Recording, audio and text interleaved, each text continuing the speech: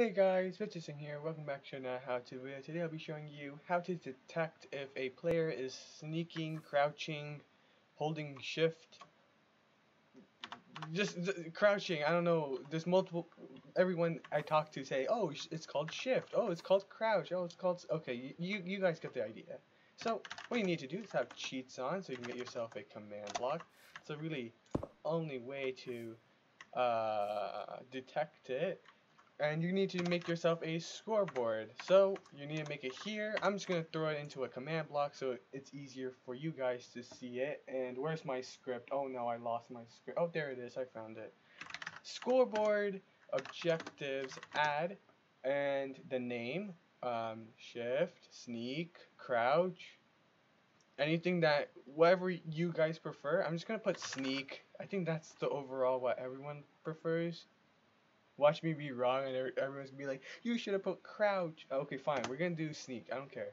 And then here you're gonna do Minecraft um, period. Uh, what's the next thing? Oh, custom. Custom, if you can spell it properly. Colon Minecraft again. Yeah, I don't know why. Period, and then it's um, sneak time. There it is. So that's the scoreboard you don't need a command block for this one. Here go, scoreboard, add, sneak, blah blah blah, and you got yourself a sneak objective. You can just quickly double check by doing list. And you got yourself sneak. You probably don't have these two unless you were watching my other tutorials.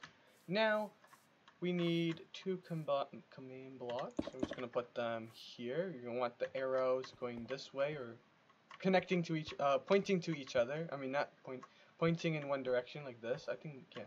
This command block needs to be pointing to this command block. Who cares which one this command block is pointed to? So the first one, we're gonna put, and I lost. Where's where'd it go? Here it is. Okay. Uh, execute. That's not how you spell execute. Okay, execute. Oh my God, where's my my why is my script so horrible? Okay, execute as and now you can either do the closest player or all players. And we're going to do everyone because, I mean, for me, I'm on a single player world. Uh, this, if you're on a single player, you can do uh, at P. But if you're on a server, you can do at A, depending on what, what your mood is. Open closed square brackets. And we're going to do scores equal 1 dot dot. Wait, I did this all wrong. Score equal open closed curly bracket and then the name um col wait uh no what am I equal one dot dot. Oh my god I'm messing up my colons and equal to now okay at a open close square bracket score equal scores equal curly yeah okay. Just making sure I don't want to make a mistake.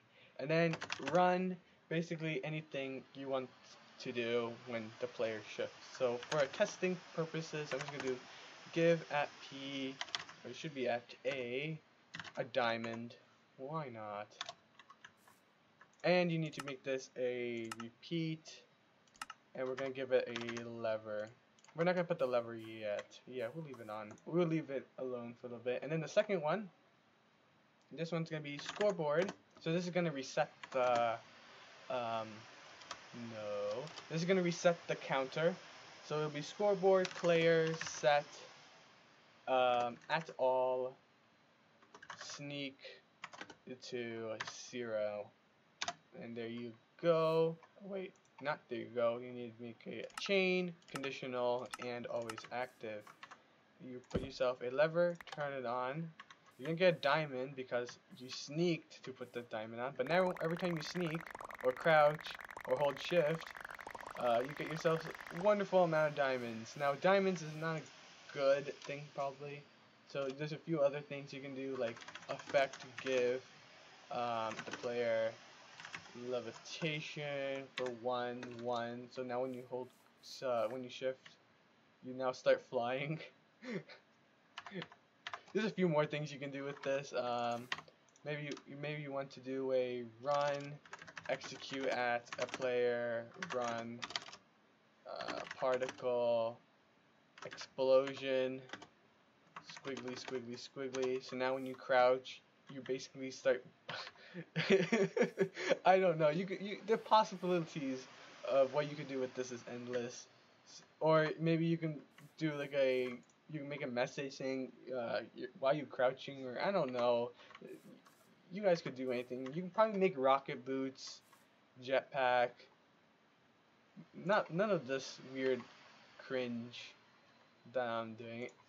To be honest, the particle one's my favorite, so uh, run effect or or just yeah just yeah the, the levitation's good you, you, it's it's close to a jetpack just imagine I'm wearing boots or something and then next thing you know you're flying uh, I don't know maybe that's a good next video idea right who wants to see uh, how to make a jetpack or I mean rocket boots or something like that yeah, so once you let go, you're gonna fall.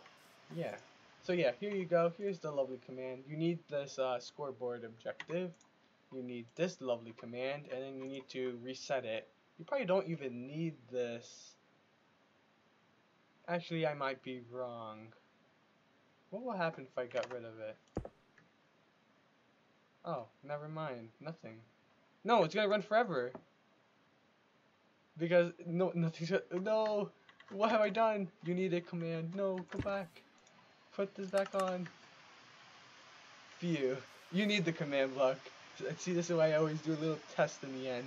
Just to make sure. So yeah, you need this command and this command to make it work. Just don't forget about this one. Chain conditional and always active, okay? So yeah, anyways guys, hope you enjoyed this video. If you did, hit that like button down below. And if you're new to my channel, hit that subscribe button for more weird tutorials like this one. And yeah, anyways guys, hope you enjoyed this video and bye guys! We can fly we can fly to the moon. The moon's kinda too far away and we're going really slow. So yeah, see you in the next one. Bye!